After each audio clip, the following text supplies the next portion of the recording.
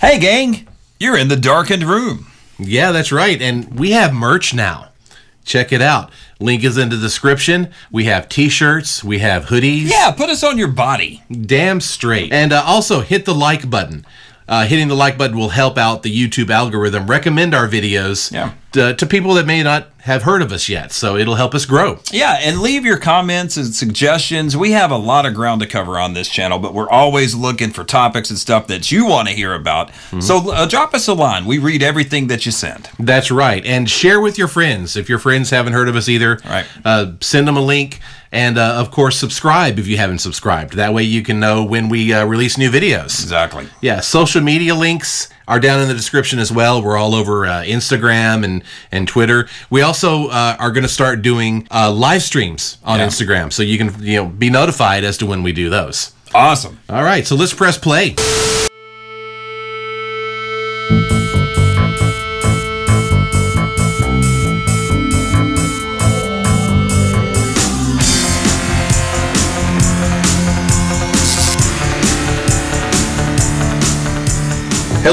Welcome to the darkened room of music conversation. I'm Darren. and I'm Chris. And today we have another special guest with us. We're very excited about. We have uh, world-renowned bassist Matt Deis. well, thank Nope. you for that. Yeah. Don't be don't be shy. Matt Deis, of course, uh, from All That Remains, later CKY. And uh, Yeah. Matt, uh, first of all, thank you for joining us today. We got a special episode. We're going to be talking about our favorite Rush songs. Uh, Yeah. but, bef- but before we get to that, we're going to talk about you a little bit. So why don't you tell us a little bit about your musical history and kind of bring us up to date to where you are these days? Sure. Thank you. Yeah. Um, so uh, I started pretty young, just piano lessons at, at four, um, and, and, was with piano and clarinet all through growing up and going to grade school, elementary school, all that stuff. Um, and then, of course, once adolescence hit, uh, guitar was the cool thing. So I switched over to that. It was Uh, time to rock. and I, I started taking lessons with Oli Herbert, the guitar player of All That Remains, when I was 13. Um, Wow. so Oli from All That Remains was the biggest influence on me in terms of playing guitar. Um, I, I didn't start with bass immediately. I, I, I started with guitar, um, and then was in local bands all throughout high school and found um, there was kind of a uh, glut of guitar players. So there weren't as many bass players. So I, I said, you know what? I got fat fingers anyways. Let me go switch over to the four string. Yeah, you you lost a couple of strings and started playing bass. I, I get. Exactly. Exactly. so, and, and and then uh, in one of my later lessons uh, with Oli, he had mentioned that their bass player quit. And I jokingly said, oh, I'll play bass for you guys. And, you know, I'm what, 19 years old at the time or something. And he's like, yeah, absolutely. Are you free this weekend? And I'm like, kidding me? Yeah, sure, absolutely. so you know that that was like a Monday, and then that weekend we were out in uh, Albany, then Providence, Rhode Island, did a short little van run, and then pretty soon it, it was like, oh, we we got a record deal and tours, and uh, I I got to finish college, or do I? And, you know, it, was, Amazing. it, it all happened very quick. And then from there, uh, all that remains for a couple of years. Um, I got the opportunity to join CKY, who at the time was a little bigger than all that remains. Uh, Sure. Not so much the case now with the two bands, but um, you know, at, I was 21. I jumped at the opportunity to go tour with them, and I, I quit a year and a half ago. So Right. pretty much all all my 20s, all my 30s, just, just on the road with CKY. Nice. And I know that currently, and this is how me and you met, uh, you are currently playing with who I happen to feel is the best singer on the planet, Tristan McIntosh. How did you meet her?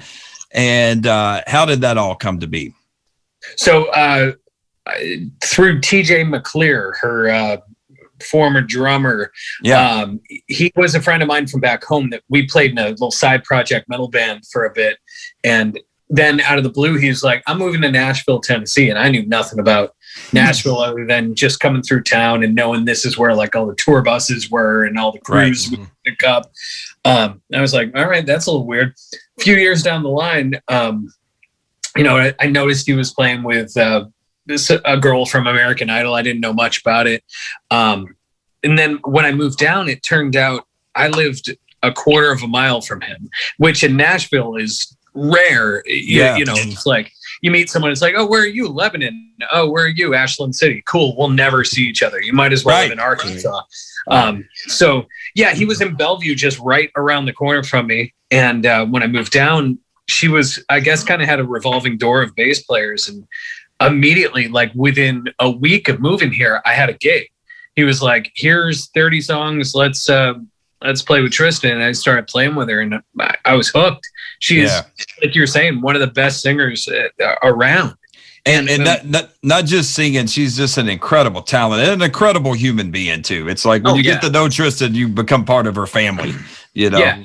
It- yeah, great person, great family, and and yeah, not just singing. Like you you you'd be playing something. She's like, when you went uh, from a G to an F sharp right there, it, it created kind of an odd harmony between what I was, and it's like I I'm just playing riffs. Like I, I don't, she, she her harmonic ear, uh, everything. It's just perfect pitch. She's got it all. Yeah, she really does. One of the most talented people I've ever been around in my life. And and for, For full sure. disclosure, I help her book shows locally. So I'm Yeah. not just a fan, I'm involved. I'm all that. But No. uh, I met Grab you onto the rocket ship. That that, that that's the best way to do it. exactly. And I met you originally in uh, Franklin. You guys had played a show at Kimbro's Picking Oh. Parlor. Pick And- and that- yeah, and uh, it was funny because at that point, that was actually the first time I'd ever seen her play live, uh, outside of a show where I met her when she was with Tony Harnell for that one gig with Stryper. Yeah, And, yeah, yeah. And I thought she was incredible. And then when I saw that show, I'm like, my God, this girl has got it all. And you were Yeah. so cool. I met you and TJ that night after the show, and uh, I guess uh, a couple of months later, I booked the the show locally here at the the place called Fat Bites, Mm-hmm. and uh, and and that's when I, I really met you because I had time to talk to you and found out you were a, uh, fellow metalhead and all that. So that was Yeah. cool. Yeah. Absolutely. yeah, which which has been a learning experience with Tristan because Yeah. he does not play metal. So Right. I, you know, I've had to really flex my, uh, you know, music muscles a bit there. Um, sure. but it, it's been great just becoming a little more ro- well-rounded because of her. Uh, Learning how to sing, learning how to harmonize to her, uh, play different styles. So yeah, a lot of fun. Yeah. That's awesome, man. So let's get uh, on to what we are here for tonight to talk about Rush. Tell me how you became a Rush fan. What were some of the first albums that you got into, and Hmm. all of that stuff? Being a bass player, I'm sure you worshipped Geddy pretty pretty early on. Yeah, absolutely. Um, so, because I'm 37, I'm like Rush to me uh, uh, came on my radar like like maybe I don't know the test for Echo kind of stuff Mhm. might have been the first thing that you would hear on the radio. Maybe some of the counterpart stuff were still kind of evergreen on rock radio Yep. when I was a kid. Like, um, but yeah, it was it was later Rush, like post Le Studio era Rush. Um, uh, um, so the R30 tour was the first time I saw him live, and uh, I, it was the opening night of the R30 tour in Hartford. Nice. Uh, I I somehow managed to get lawn tickets for it, and you know it was whatever, but it was kind of a crappy night, and. I, uh, WCCC, the rock radio station in Hartford, 1069, Howard Stern's old uh, yeah, one one of his like original ones. Uh, they had a little stage set up for Rush karaoke to win soundboard tickets, and uh, the. I'm not sure they could get away with this now, but they had a, a helium tank with helium balloons and uh, a little stage set up. I see where this is going. Yep. yeah yeah so you, you do you do that and then you you sing so i got picked out of like three other people thankfully the other two people who did it were just hammered and didn't know what they were doing and i was like i was third to go so i i had noticed like these people were getting no crowd reactions it wasn't funny so i tried to work the crowd ham it up a little bit and i ended Yeah. up winning soundboard tickets for it so Nice. uh, Sweet. I, I ended up they didn't want me at the actual soundboard so they put us over at the lighting director's table me and my friend and uh, he actually let us uh, hit the pyro um, for oh, what's uh, I forget forget the song where, where the dragon does the big pyro spot Yeah. there. I got to hit the button for that on the first night of the R30 tour. It was, it was very cool. But That's like awesome. first, it, it was wasted on me though. I, you know, I was 17 or 18 years old, Right. Mhm. and I, I wish I could have that experience back. And uh, you know, it, now that I, I've I've got more knowledge of Rush under my belt. Right. Did you get to meet the band that night? No, Yeah. no, and uh, it- apparently, like that was like kind of a tense night for the band. Like reading back about that R30 tour, because that's the first one where Neil decided he was going to like follow behind on the motorcycle and everything. Right. And it was the first tour after losing his his daughter and his, and his wife. So Right. um, apparently there was kind of a truncated meet and greet that night between just Alex and Geddy, uh, and no What- Neil for sure. But Neil never did meet and greets, and I, No, I. I got to meet him. Uh, I got to meet Alex and and uh, Geddy, but I never never met Neil. yeah. Yeah. so did So, you read? yeah, did you? no, that, that was my way. Or go ahead. Go ahead. I was going to ask you. Did you read his book? Uh, uh, Neil's book that he wrote. Yeah, uh, Ghost Rider. I've Yeah. read. Yeah, and I I love love that. Amazing. He, he's he has a few more manuscripts about his travels and stuff. I, Yeah. that I would love to read as well, but uh, uh, certainly, like for for me, the the amount of touring I've done and the uh, not so luxurious touring I did with All That Remains, where like I, I was the van driver for all of our tours because you know I wasn't 21 yet.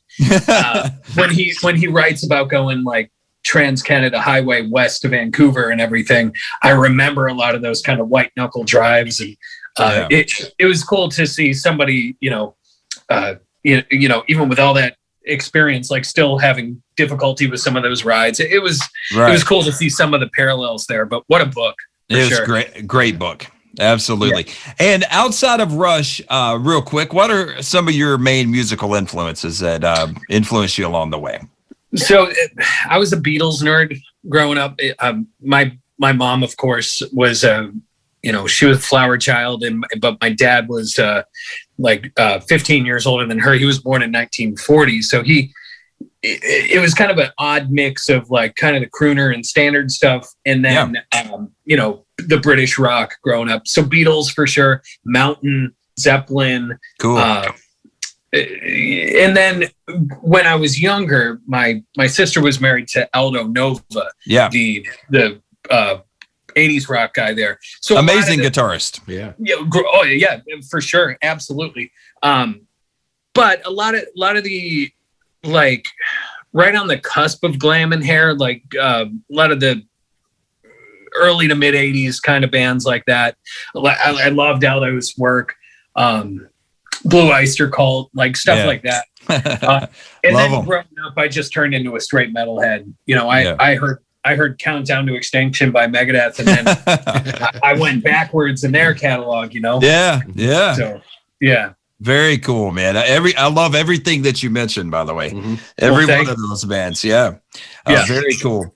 All right. Well, what we're going to do is we're going to go over our top 10 favorite Rush songs of all time. And Yeah. uh, we're gonna we're gonna kind of go in a circle, and um, Yeah. and then we'll end the night with a few honorable mentions because it's so hard to narrow down just ten songs. Yeah. Uh, Yeah. So so uh, I guess uh, Matt, you're our guest. So why don't you pick your number ten song? Ten, I would say, animate off counterparts. Nice choice.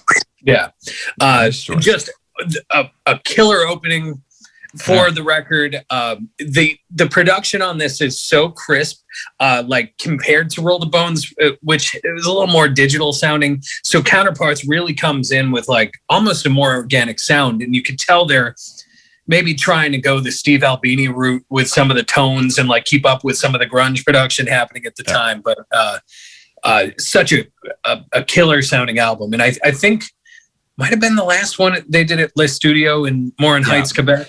Yeah, and, and I think that coming off uh, Roll the Bones, Roll the Bones was a thin sounding record, and this one just Yeah. had a lot more beef to it. And I, I love the part in Animate where everything stops and Neil plays that little drum fill going into that last section of the song. Absolutely. Amazing. Yeah, Absolutely. great choice. Great choice. And, I, and I'm like you, I like the whole album. I think it's a killer record. All right, so among the three of us, I'm kind of like the casual Rush fan. That's Um, fun. You know, I really like Rush, but you know, they're not in my top ten. You know, they're not among my favorites. Right. Though I Hmm. love them. I saw them uh, how many five, six times. I think most We- of them we- with you. Yeah, and we saw the counterparts tour with Candlebox opening. That's right. Yeah. yeah, Yeah. yeah. it was Oh, a wow. great show. Yeah, Yeah, it was very cool. yeah. We saw the. Uh, Where are they now? we saw the Roll the Bones tour. yep. And, Yep. um, which which tour did we see in Atlanta? Was that also Roll the Bones? That that was Roll the Bones. Yeah. Okay. Yep. All right. Cool. Yep. So as a casual fan, my list is not going to be as deep cut. Um, Yeah. It's going to be a lot of 80s stuff. Yeah. That's Yeah. the stuff as I was growing up I remember the most. Sure. Uh, But I I purposefully left out Tom Sawyer because that's just Yeah. oh Cliche. yeah. I, I might I might feel a little biased against it because I've heard it so much. So Sure. I'm excluding that. Uh, but I'm going to start out with one of their more recent tracks, just just to include one that I liked that came out in the last decade or so. Uh, Yeah. My number 10 is Working Them Angels. Nice. Yeah. Good song. Incredible song. Yeah. Yeah. Yeah. And Yes. I, I like the sound of those records too, the last few records. I thought they sounded really good. Yeah. Yeah, absolutely. Nick Nick Raskulinecz's on the board for that. Uh, Yeah. Nashville guy there. Yeah. Uh, tremendous tones on that album. It, it's big and it like jumps out of the speakers uh, for sure. Exactly. Yeah. All right. Well, my number 10, uh, I'm going to go. I, I've always said this. Darren likes his props, by the Uh, way. yeah, I like props. I, I can't. I can't say that this is necessarily the best Rush album of all time.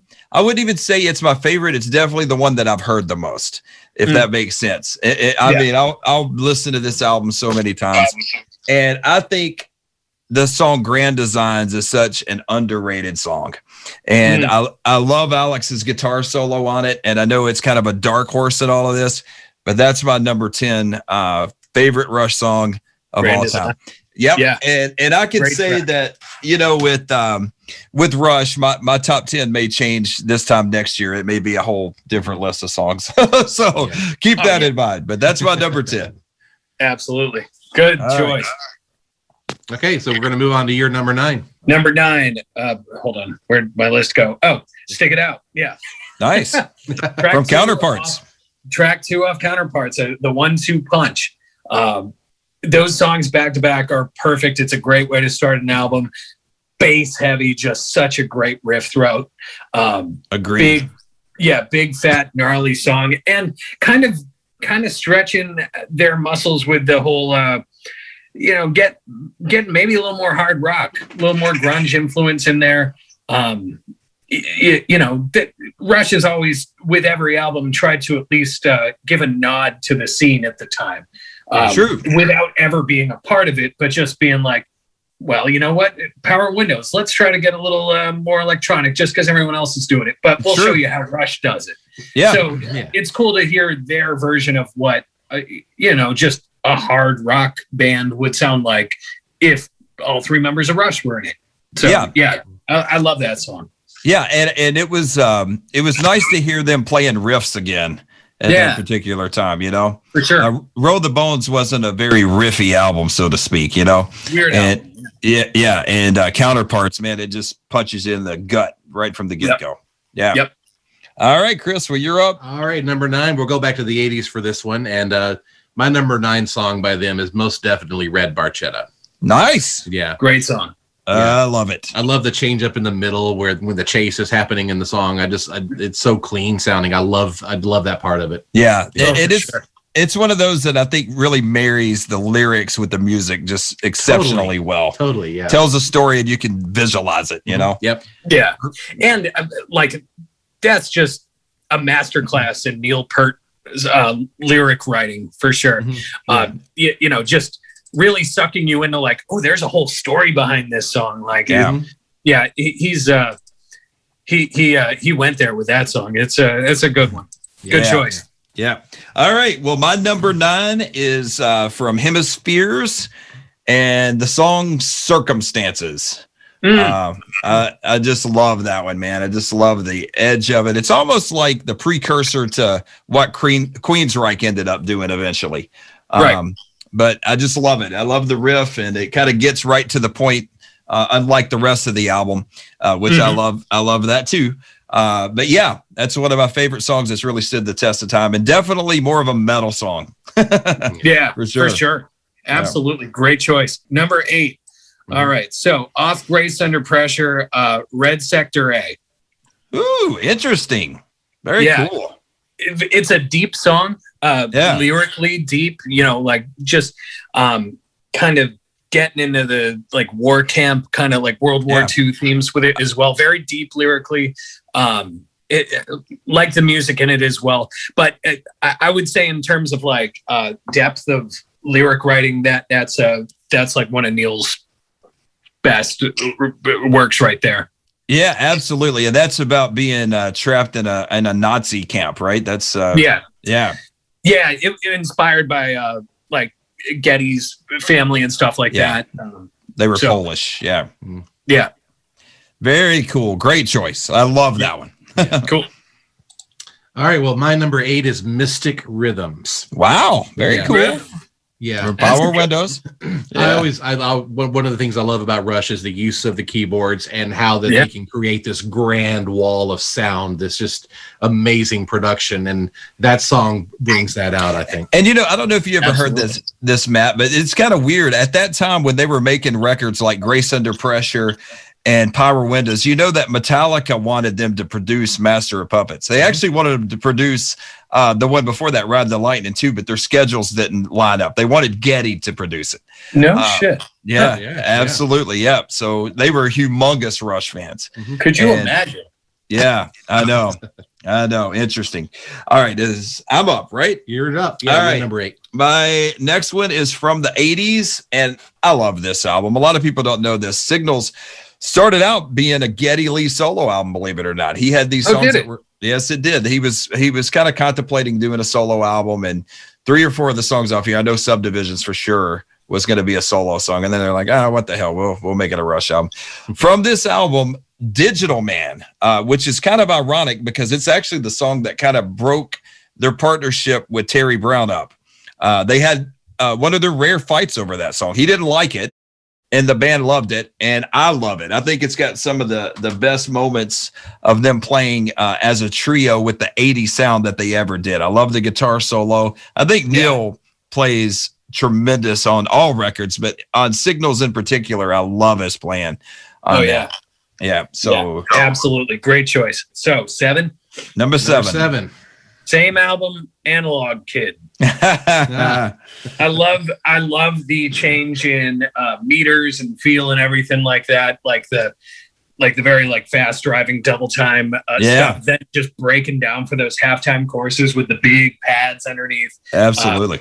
I I love it. it it's just like everyone knows the album for subdivisions for sure, but Analog Kid is uh, that that's like a one for me, or like one A for me. You, you know what I love about that song? I love how Neil, in a lot of ways, kind of keeps a, a really simple beat throughout that song. If you listen Yeah. to specifically where the guitar, uh, which the guitar solo rips your head off, I think that's one of Alex's best moments ever. But I like how simple Neil plays in that song coming out of the Mhm. solo. It's just like, it's like really simple um, snare hits, but it works so well. Oh yeah. It, it, it- yeah it just sounds like he's hitting kick snare throughout yeah, like the beginning part of that solo with nothing else which uh, exactly. Exactly. you know he, he's not one to be uh, a minimal player for sure Right. no doubt about it. Excellent choice. And that would uh, make my honorable mentions. I've got it written down for sure. So nice choice, my friend. My number seven. This is the first song that's actually going to be a repeat. Red Sector A. And everything you said, ditto. Perfect. I Great agree. line and Yeah. all that yeah There you go. All right. All right. Well, my number seven it is, right? Yep. I'm going to go with um, Limelight of uh, The Mighty, which I do think is the best album they ever did. Uh, Oh, yeah. And I, I know that's kind of cliche to say that. Mm. Moving Pictures, Limelight, I think it's the best solo that Alex ever played, in my opinion. And I've never gotten sick of that song. No matter how many times I've heard it, I just absolutely love it. Oh yeah, just dynamic throughout the entire song. It's Yep. it's it's perfection, and yeah, moving pictures is you know that's their that's their Big Mac or their Whopper right there. That's their money Yep. album with all Yep. the singles. But there's a reason for it. They're great songs and they stand up. So yeah, great For sure. choice. All right, so what are we? Seven or We're six? on to number Six. six, now. Yeah. Six. Uh, co- coming in on uh, Power Windows, uh, the Big Money. Mm, All right. Ah. I like it because it is just the wackiest Rush song there is. Yeah. It, it's uh, they've done nothing like it before that, and there's nothing really like it afterwards. It, it's just a very uh, quirky song, but I love it. it's undeniably Rush at the same time. True, and it's very powerful. I mean, it's Yeah. it's actually a heavy song when you get right down to it. It's very heavy. Yeah. Yeah. Yeah. And we'll talk more about that one later. Okay. All right. So my number six is from uh, the the Roll the Bones album. It's Ghost of a Chance. okay, Yeah. cool. Yeah. That's definitely Alex's best moment on that album, in my opinion. I Yeah. love the guitar solo on that one. Yeah. Yeah. I, lo- I love the general feel of that. That that Yeah. song to me just feels great. It's got an ambience to it that And it was very different for them at that time. That song was Yeah. like it's really sticks out in the context of their catalog. Very different song. yeah. So Mhm. yeah, very Mhm. nice. All right, and uh, this is another, I guess you would call it, um, I don't know, a not so popular song uh, outside of you know hardcore Rush fans, which hopefully is what's watching right now. Mhm. Uh, Grace Under Pressure is the album, The Enemy Within. Um, Mhm. One thing about the '80s Rush albums that I really really like is I think even though it's not as heavy as the classic stuff from the 70s and all that, I think it's got Geddy's best vocals. Um, Mm. Getty at that point, I think, was really into melody. And I don't know, I kind of liked his voice meshed up with a lot of the padded keyboard sounds. Um, Yeah. That, that song to me, and, and you mentioned this, Rush would kind of like try to do something that was in the context of the times. That, that song is, has a lot of police influence in it. Uh, but it's kind of like the police on steroids. And uh, I just absolutely love it. I love uh, Alex's plan. You know, he around that time, Alex was really experimenting. Like one minute he would kind of sound like Andy Summers. Uh, he would do stuff on Power Windows that reminded me a lot of The Edge.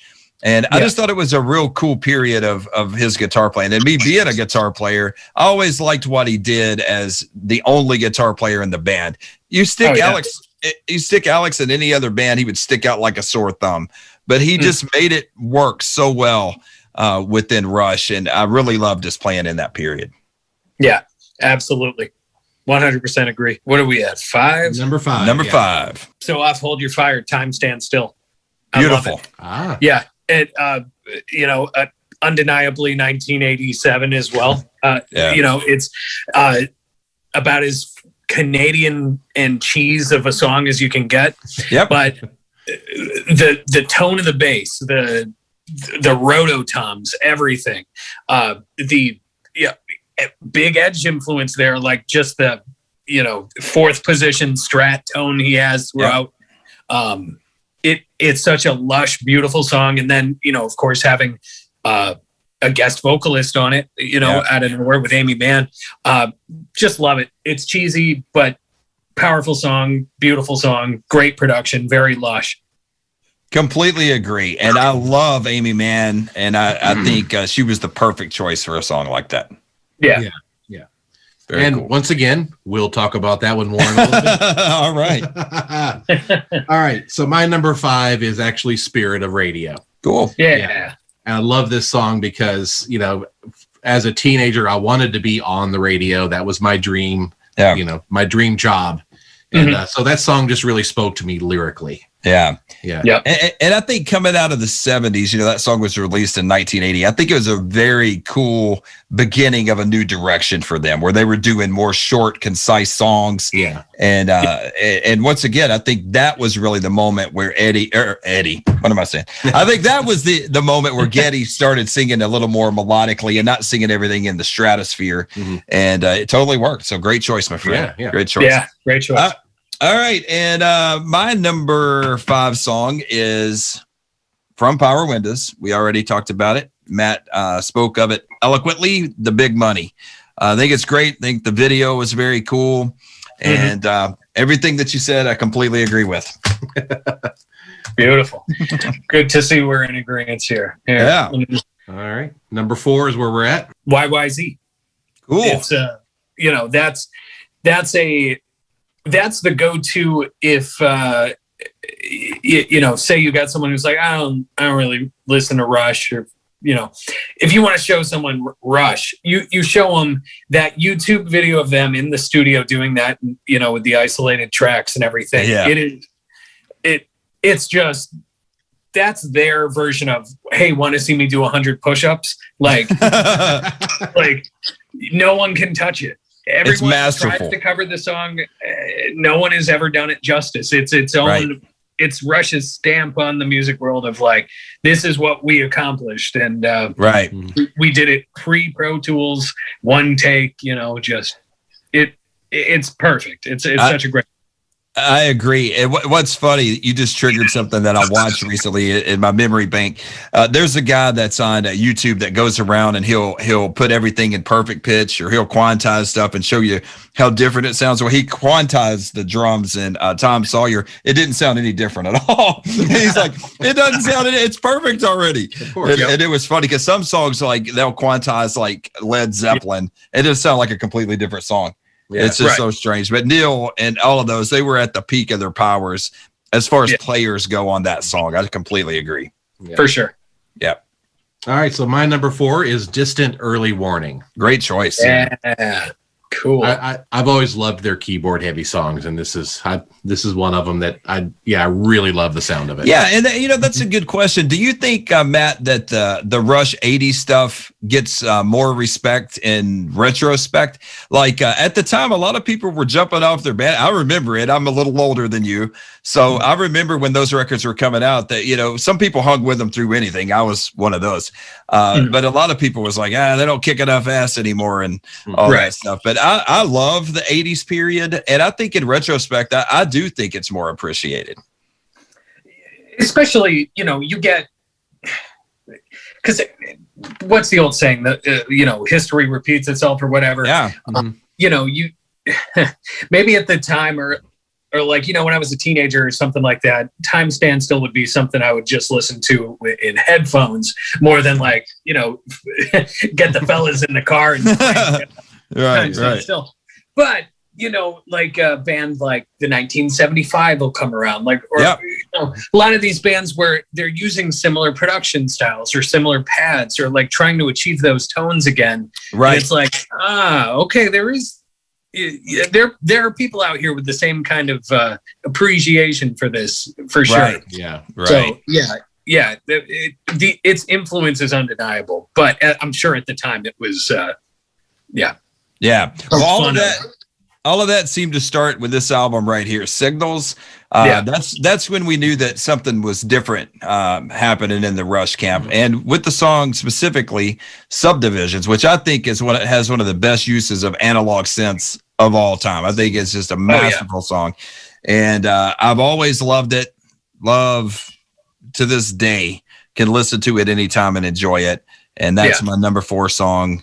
Um, subdivisions by Yeah. signal All right. on Dude, signals It's Yep. it's great. Three uh free will off permanent waves. Uh I I I I think it is uh it it, it it like rides the line of catchy song yet extremely complicated musically. yes yes So they it, they have a signature way of taking uh either an odd meter in odd mode something like that and still being able to write a catchy song with it. I think Free Will is a great example of it. Odd time signature, but like you can, the casual listener can still pick up on that melody. well So- said very Yeah. well said i agree i Yeah. agree A band where you know if you're going to do something in seven four, still drive home that four, so people Yeah. can like nod their heads. can exactly exactly that's the perfect example of that right. very nice very nice Okay. Thanks. My number three is the opening track of Hold Your Fire, Force 10. wow Yeah. cool Yeah. Again, That's that good- wall of sound, and what a great marriage of lyrics to you know music. Yeah, and, and I kind of felt at the time that was like the quintessential Rush song on that album. But they were Yeah. kind of like they like to kick their albums off with what they felt was the quintessential Rush song, and I mm-hmm. think that's a good example, a great start to a great Yeah. album. And when that's cranked to eleven, you actually feel like you're in a hurricane. Yeah. Oh, absolutely. Yeah. Such great production on that. All right. Well, since we're talking about Hold Your Fire, my number three is actually probably lyrically my favorite song of all time, Mission. Uh, I love I love the middle section uh, where it kind of goes into an orchestrated little section, and then everything, you know, uh, the pace slows down, and you just hear those padded sounds. And I, I just think it's such a powerful song, lyrically, musically. It, it you know, this whole album is really good about you know meshing the lyrics uh, with with the music. And you know, this was probably their lightest album of all time, perhaps. But Yeah. I love it. I absolutely love it. I remember the day it came out. I was there, and uh, I think it holds up well overall. And it's kind of funny. We've each mentioned a song off this, and um, my number three is is Mission. I'll love it till the day I die. Yeah. Great choice. Number two, we'll we'll do uh, a little Nashville tie-in here. Yeah. Um, uh, BU2B, Nice. Clockwork Angels. Yeah, It's what a friggin' riff in that song. love it. um yeah it, it- to it's so crazy because it, it's you know the, their final studio album there but they are just on uh, on all tens with that song it is Yeah. it's so heavy um such great like almost like a post hardcore or like a metal hard rock influence to it almost like a breakdown part like keeping up with the times even that late into their career And great energy on that song. That by far Yeah. was my favorite track on that record. yeah By far. Great choice, man. Great Cool. choice. thank you Yeah. All right, so for my my number two is going to be a little bit of a story time. When my parents moved us from Nashville, Tennessee, to Hendersonville, Tennessee, I was in junior high, Mhm. and um, this song right here, "Subdivisions," Mm. feels like it was written about my experience when we moved to the suburbs. Yeah. Mhm. Yeah, the whole "be Mhm. cool or be cast out" because Yeah. that was the That first point in my life where I actually felt class divisions among my classmates. Right. yeah So, um, so yeah, that song just touched me to my core. Yeah. And Yeah. Yeah. To this day, when I hear and I hear those lyrics, I think of that time. Yeah. And and it's funny, you know, Rush were one of those bands for me that um, no matter what mood I was in, happy, sad, I could listen to them and be transported to somewhere else. And Mhm. whether I was going to the store or going to the bowling alley with my folks or whatever, Rush would come on and, and it would send me to another world. And Yeah. uh, there were very few bands at that time that had that effect on me. And I, I got so into them at one time that I listened to them constantly. And, uh, and, and, you know, I started listening to them in the mid 80s and then I went back and got their earlier stuff. And every album was just deeper, darker, and different. And I just love that. Yeah. about them. Yeah, Um, absolutely. Yeah. So great choice, Chris. And, Yeah. and well said. Right. All right. Well, my number two is the aforementioned uh, by Mr. Deis, Free Will. And everything he said about it, I uh, totally, completely agree with. Mhm. And I thought uh, um, Geddy, rather, was really using his voice really cool at that point. You know, like the the middle section where he goes, he reverts back to the really high pitched vocals. It's so it, it was so much more effective when he chose his moments to do that. Everything that Matt said about the music, how it was laid out, how it's real complex, but yet it sounds.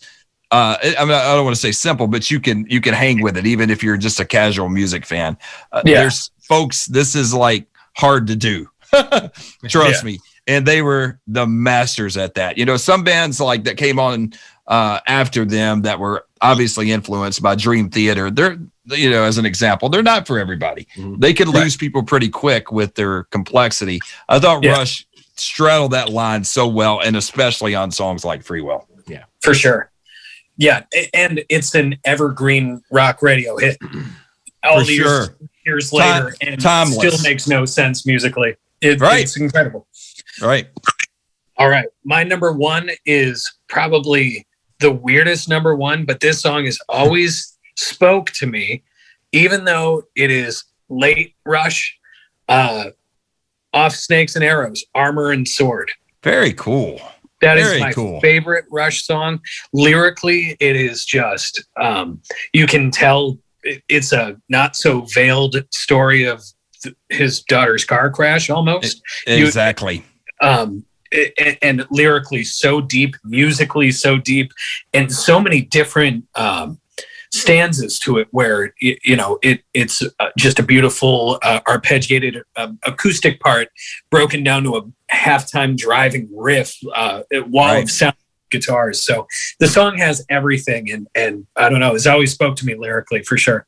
Very cool. That's in my honorable mention. So a good choice, my friend. That, that's that's an excellent song, and and people don't have enough appreciation. You know, I, I don't know.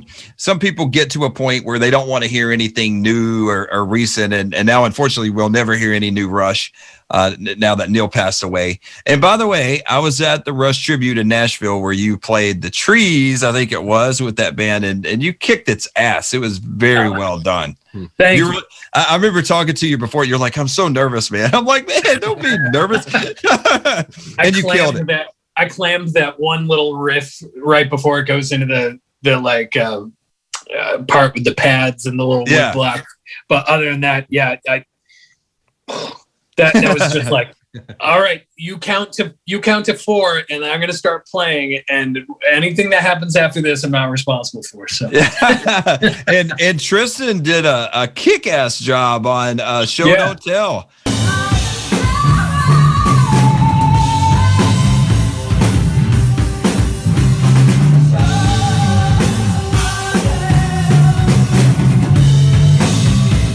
She, it's she such did- an odd song to do, but yeah, she Yeah. killed it. She killed it. Yeah, very cool. All right. Well, you're Okay, up. So my number one uh, was mentioned already once by Matt, and um, my number two and number one song can both point to a specific place in my life. And my number one song, "Time Stands Still." Cool. Um, I remember there was a point of transition in my life where you know I was going through a thing, but um, yeah, I remember hearing uh, playing this song over and over and over again, and Hmm. it just it just refreshed me and rejuvenated me for the next stage of my life. Nice. And, uh, that's why I love it. It's it's the mainly the lyrics. Of course, the song has a great feeling to it as well. yeah. So Yeah. Well, like Mike, like Matt said, it's just a beautiful song. it is. Yeah. It it really is a beautiful song. And the All lyrics right. are poignant. It's uh, you know, that it's a great lyrical theme to it. Yeah. for sure. Yeah. timeless. And Yeah. um yeah very very nice. All right. Well my number one uh rush song we're gonna go way back for this one. Uh i just think it's the most brilliant song they ever did. Xanadu. Of, i i just man i love that song. I know it's Yeah. weird but and, and it's 11 minutes long or whatever. I think it's 1108 or something but off of farewell to kings. Uh, Mhm. I, I just think it's such an interesting song and uh, i love the heaviness of it.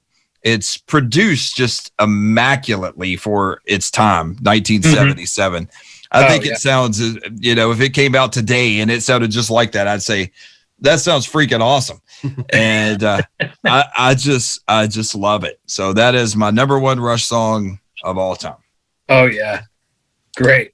yeah And we go. y- yeah, what what a ly- lyrical departure from like a working man or something.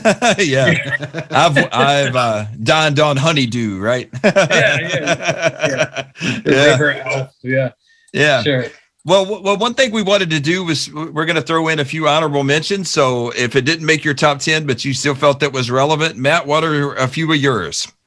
Uh, so one song that always makes me smile when it comes up is uh, it, it, it's you know instrumental there, but the main monkey business off uh, Snakes and Arrows. Cool. Uh, it, it- such a cool song, and it's it's like maybe their 2000s version of an of a YYZ, but a little less complicated for sure. right. Just like here you are in the studio with us. Here's us jamming out. Here's us on on all ten, and uh, enjoy. Just it's six minutes of them jamming and sounding incredible. I agree. What else you got? Let me see. Uh, let me go back to that list. Uh, so roll the bones. The song "Roll the Bones." Yeah. I I know it got so much crap, and uh, you know the rap part is what it is, but it it almost like had a purpose in their career. It was uh, yeah, I you agree. know polarizing, which they were never afraid to do it. You know, looking at Big Money or Time Stands Still or you know any of the super quirky stuff. They they kind of doubled down on that with Right. Bone. I agree. I agree. Nice choices. Yeah. All right, I'll just name off a few of mine too. Um, in my honorable mentions, I had Limelight in here, and I had Big Money and Marathon. I think is a fantastic. Love Yeah. marathon. Yeah, Yeah, And, um, and I love the trees. Very cool. Yeah. Me too. Me too. yeah. Yeah, great, great choices. I mean, it's, is, are there any bad Rush songs? Uh, maybe one or two, but not not many.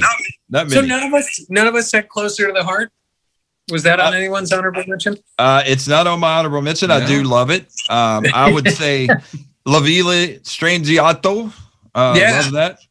Uh, Anthem off of Fly By Yeah. Night. The song Yep. Fly By Night, Vital Signs. I really like that one. I think that was a really different song. It's funny. When I first heard Moving Pictures, I wasn't crazy about Vital Signs, and it may be one of my favorite songs by them now. I just really like it and very um, police influence, you know, but much darker. Um, what else do I have here? The Analog Kid, you mentioned that one, of course. Time stands still. Uh, Hemispheres, um, the song, you know, um, that kicks off the the album. So yeah, there's a few Yeah. of mine, Quote- but yeah. So Earth man. Shine. That's the one I forgot. ah, Shine. yeah, that's a good one. That lost album for sure. Uh, Yeah. Vapor Trails, but Earth Shine is a that's a that's a great track. I loved Vapor Trails when it came out, I, and I saw them. Uh, I think either their first or second night on that tour, and, and this was after Neil had, you know, had his tragedy, as you mentioned, with his uh, his wife passing away, and and prior to that, his daughter died in a car wreck. So it was just a real. Uh, I don't know, just felt like a, a a real comeback, you know, and the fans just appreciated it so much. I know I did. Yeah. So, very cool. All right, I know we have some Rush fans out there watching. So, what's your favorite Rush song? Drop it down in the comments. Click like on the video. Yeah. And uh, we're gonna play some trivia now. Matt's gonna stick around. And, All uh, and we're gonna all play together. So- we'll give him first shot at it. yeah.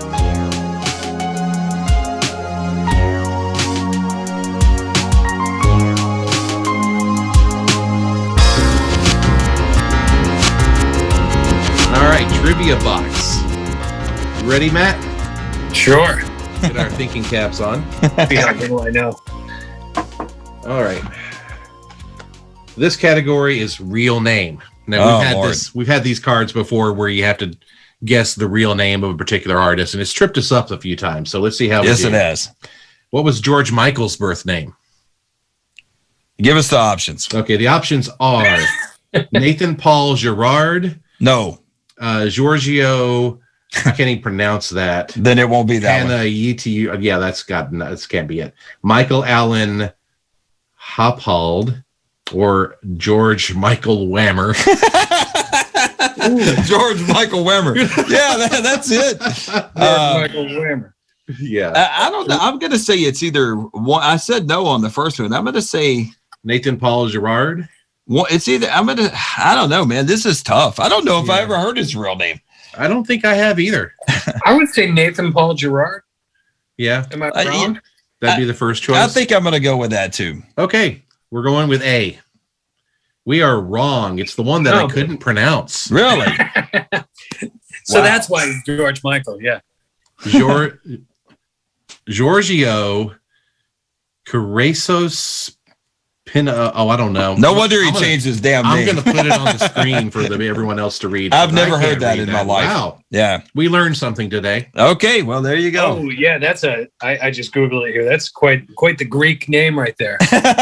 Yes, it is. for sure. Well, Matt, thank you for joining us on this uh, show. It's been a lot of fun, man. And, Thank you. And I will see you very soon uh, with the whole Tristan thing. So keep rocking. Absolutely. Nice talking to you guys. Yeah, All you right, as well. thank And uh, we'll be back night. again with another episode very soon. So All take right. care. See you. Take care. All right.